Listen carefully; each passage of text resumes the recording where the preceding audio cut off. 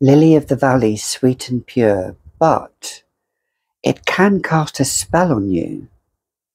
That be sure.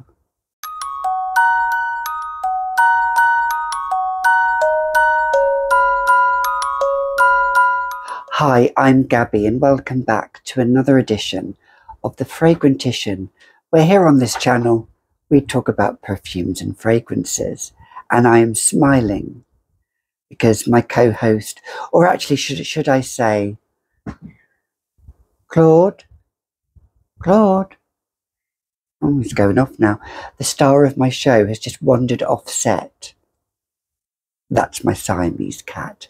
So if you've just clicked on me and you're and you're thinking to yourself, who is this woman?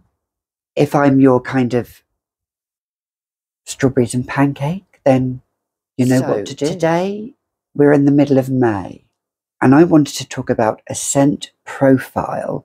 And I've talked about these scents before.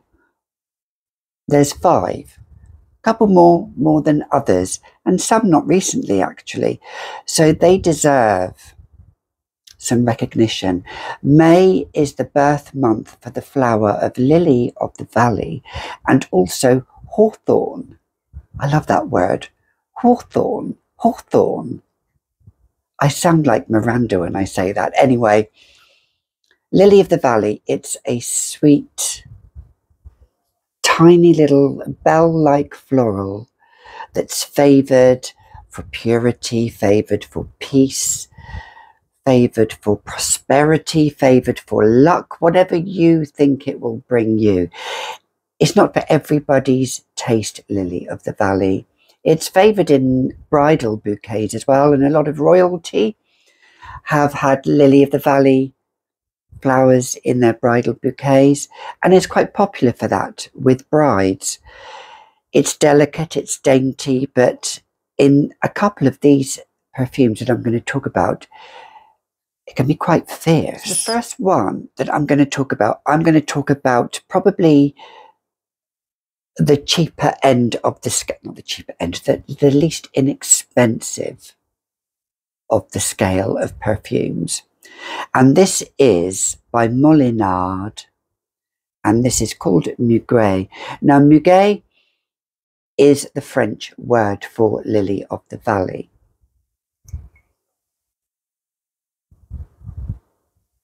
It smells beautiful. It lily of the valley scent.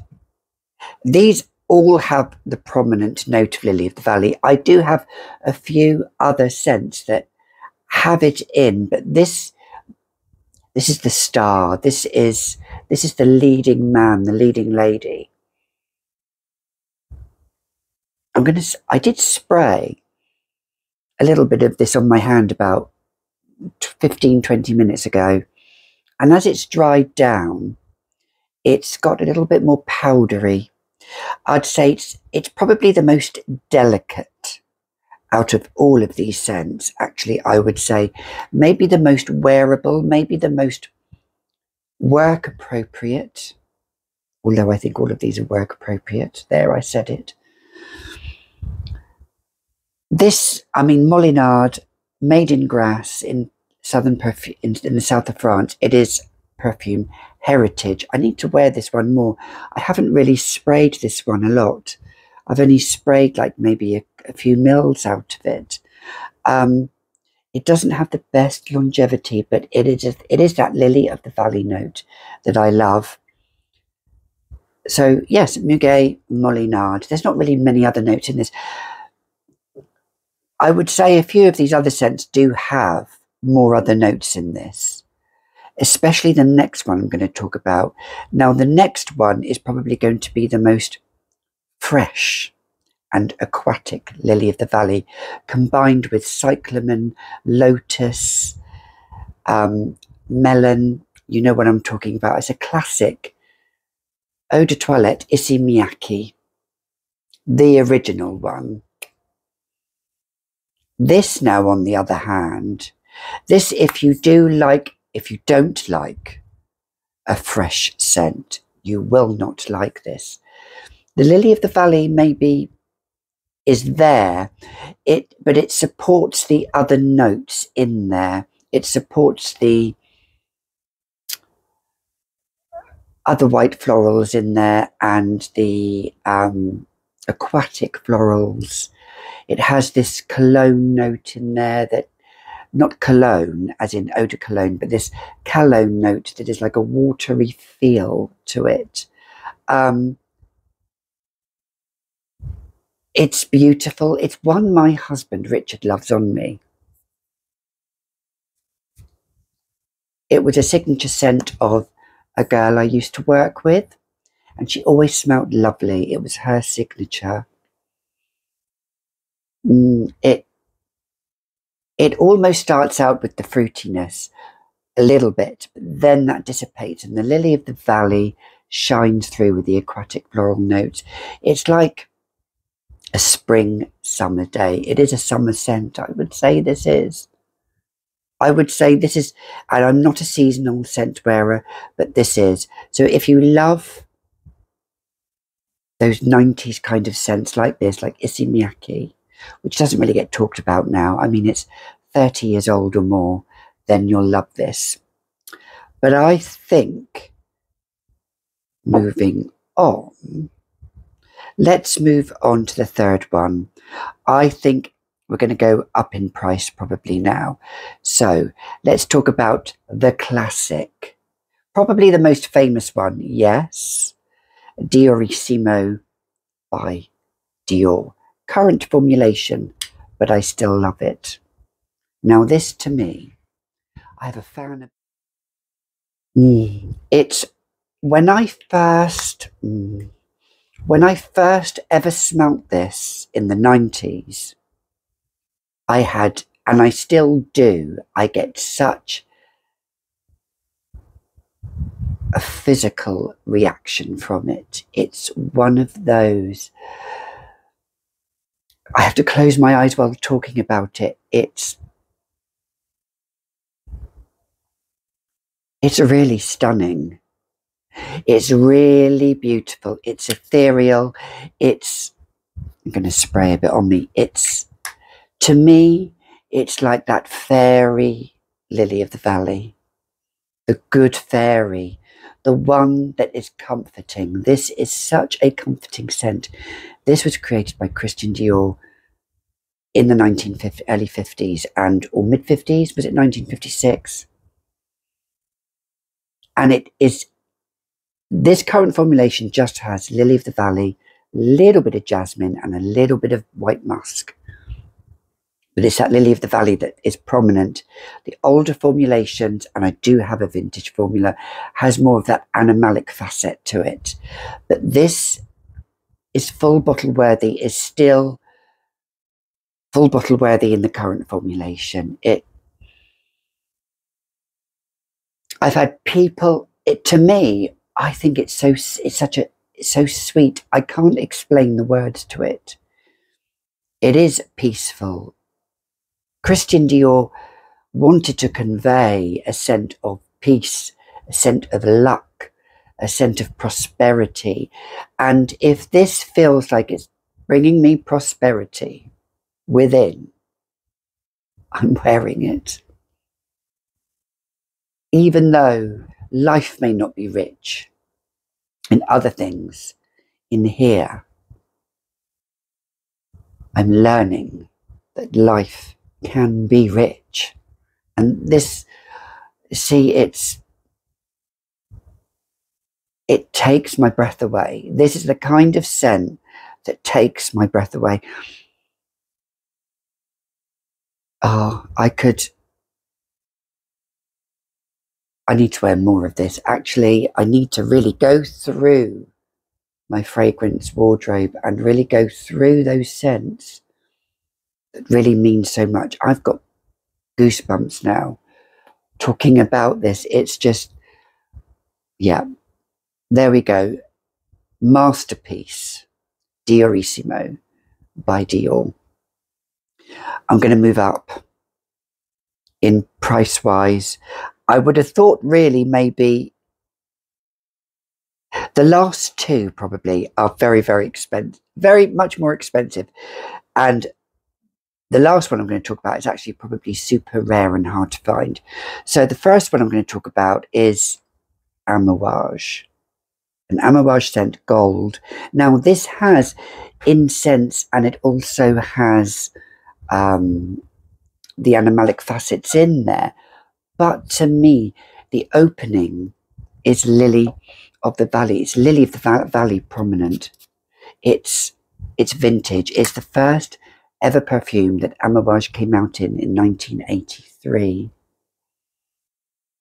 It's powdery lily of the valley.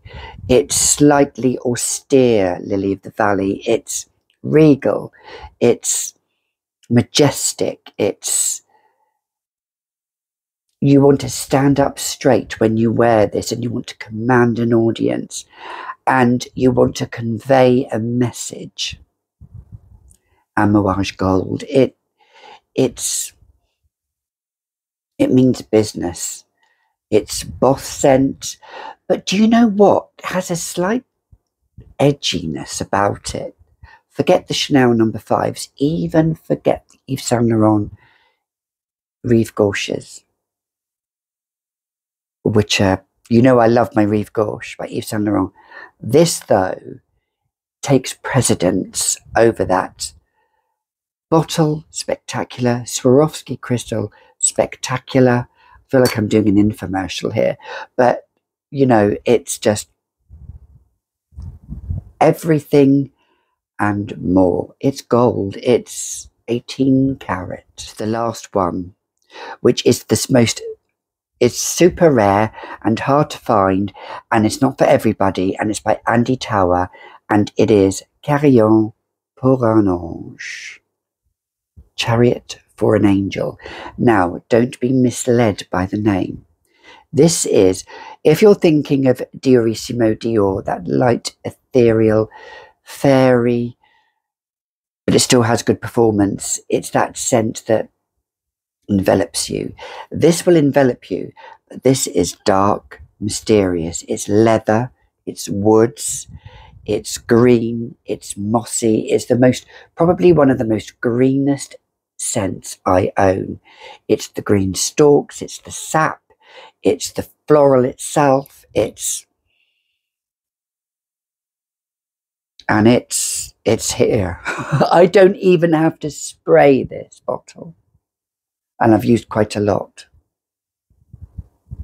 This, if you thought Amouage Gold was austere, this is not for the faint of heart. This is, where could you wear this? Well, you could wear this in the comfort of your home, own home. You could wear this to scare people. This is a scent that might scare some people. It's, it's a chorus of angels but they're the warriors. They're the warriors. It's, yeah, they're riding the chariots and they're fighting for justice. And they are not going to stop until somebody has paid the piper. yes, it's that kind of scent. So if you love that kind of scent, Carillon pour un ange, mossy green, it envelops you. It could suffocate you if you wear it too much. But if you wear a little of it, it could show another personality, another side to you, another facet to you that you didn't have. So Andy Tauer and Carillon pour un ange. So those were my one, two, three, four, five prominent Lily of the Valley scents for the month of May. And I will have to say, this year, May the 30th, actually is the 20th anniversary of my grandmother's death, but she also died on her birthday on the 30th of May. So I think probably on her birthday, I will probably not the last scent, but I'll probably wear one of the other four scents. Which one should I wear for that, for her birthday? She was the lady that kept the glue together. Strong matriarch. I could see her wearing Diorissimo by Dior, or I could even see her wearing Amouage Gold. So until then, until the next time, You've been watching another edition of the Fragrant Always remember, it's okay to be vulnerable. It's not okay for people to take advantage of your vulnerability, but to know to show vulnerability is a strength and it's not necessarily a weakness. So until then, I'll see you in the next video. I'll leave you for now, my chickens. I look forward to it. Bye for now.